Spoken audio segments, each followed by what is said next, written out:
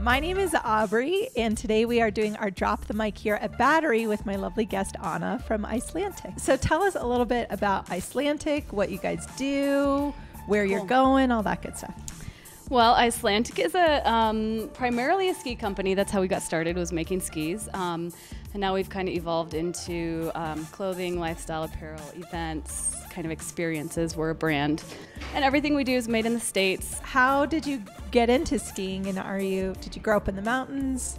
What's your story, Anna? Yep, I grew up in Idaho Springs, so just 30 minutes west of here, and my dad's from Norway, and my mom they met in Norway, so there's a lot of Norwegian heritage in my blood, and um, I started skiing before I could walk.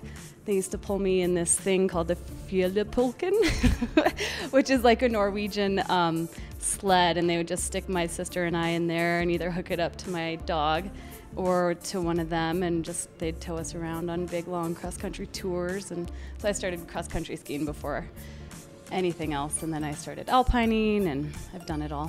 What do you enjoy so much about the mountains and being outdoors?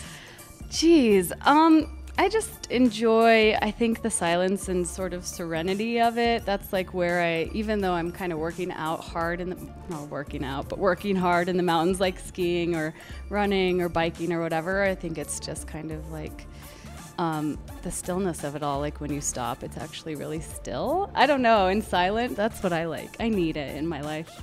I need that too. That sounds so lovely and zen. Yeah, totally, it does.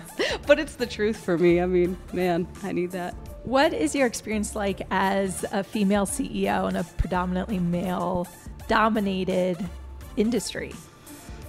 It's interesting.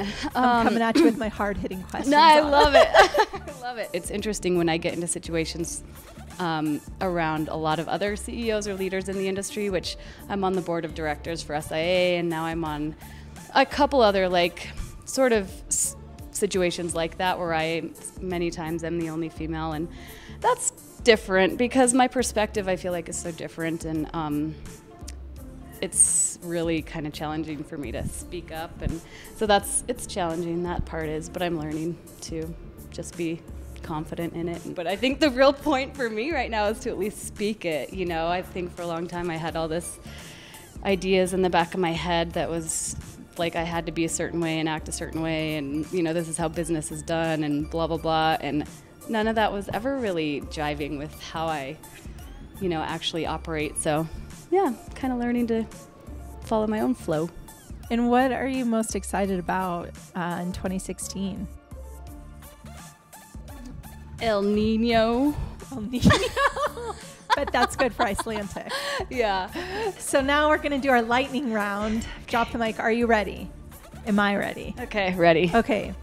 stretched it out Uh, morning person or night owl? morning Beer or wine? wine Sweet or salty? ooh sweet Me too. Dreamer or doer? kind of both yep That's great. totally Uh, coffee or tea? coffee in the summer tea in the winter Winter or summer? summer Fruit or veggies? veggies Black or white? ooh black Great. sure I think you passed with flying colors. oh thank you